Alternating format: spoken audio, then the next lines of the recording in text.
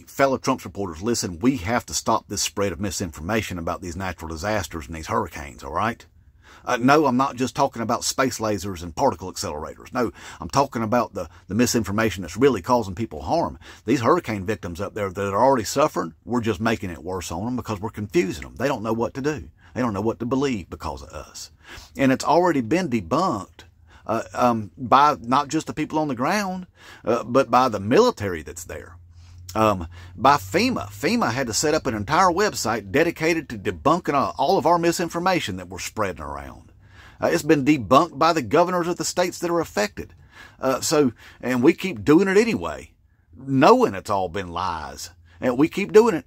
And the thing is, it's making us look real bad, okay? People are paying attention to what we're doing, y'all, because we're coming up on an election. And in fact, some states are already early voting in this election and, and they and they're watching us and they're like, well, I, I know that they couldn't possibly sink to a new level of disgustingness, and we do, like a champ. We do it every time. So they're paying attention uh, to what MAGA is all about, see? And what they see is that what we are actually doing is rooting for the failure of the federal government's response. We're rooting for the failure of FEMA. We are rooting for more suffering for hurricane victims because we want the federal government to look bad so that we can point our finger at them and blame them so that we can get our dear orange Jesus back in the White House again. That's why we're doing it. Everybody knows that's why we're doing it. And we need to stop. Like I said, it makes us look bad. See, we are actually getting pleasure by causing somebody else pain. And by definition, that is sadistic.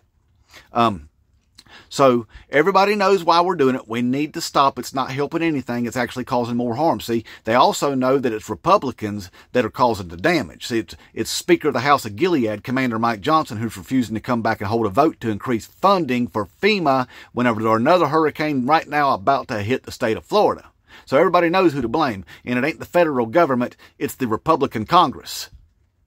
And us for spreading misinformation about that. So people know what's going on. They're not stupid. Okay?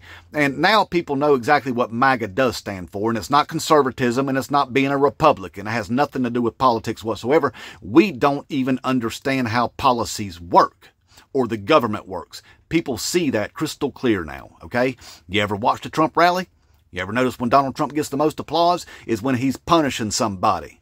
Uh, let's take NATO, for instance. If they don't pay their fair share, we ain't coming to their rescue. That's punishment. People applaud.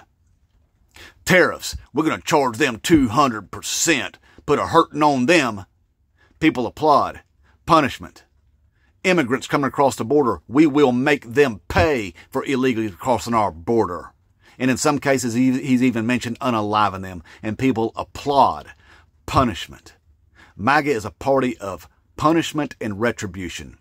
Maniacism cynicism, anarchy, all fueled by fear and hatred of people who don't look like us or think like us. And I think the American people have about had enough of it. Inmate Trump 2024.